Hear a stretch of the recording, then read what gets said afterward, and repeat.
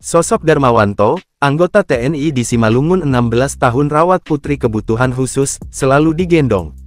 Kisah anggota TNI di Simalungun menuai pujian dari netizen. Video anggota TNI bernama Darmawanto bersama putrinya viral di media sosial. Darmawanto menggendong putrinya yang berkebutuhan khusus, yang kini berusia 16 tahun. Sang istri, Erlina Sinaga, membagikan momen-momen sang suami menggendong putrinya sepulang dari dinas. Darmawanto adalah anggota TNI yang bertugas di Kodim 0207 Simalungan, Sumatera Utara. Menurut sang istri, Darmawanto bertugas sebagai Babinsa. Darmawanto dan Erlina Sinaga menikah 17 tahun lalu. Keduanya saling kenal melalui telepon selama tiga tahun. Jumpa tiga minggu langsung menikah, tulis Erlina di akun TikTok miliknya, @erlinasinaga943.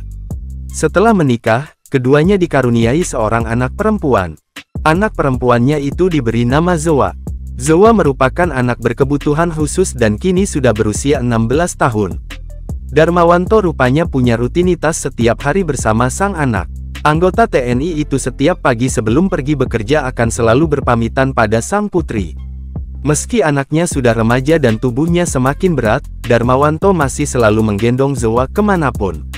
Saat berobat atau bahkan mengajak sang anak jalan-jalan, Darmawanto selalu menggendong sang anak.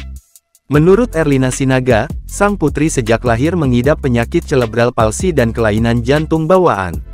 Kebetulan dia anak satu-satunya yang dititipkan Allah di keluarga kecil kami, kata Erlina Sinaga. Sejak dikaruniai Zoa, Erlina belum mengandung lagi.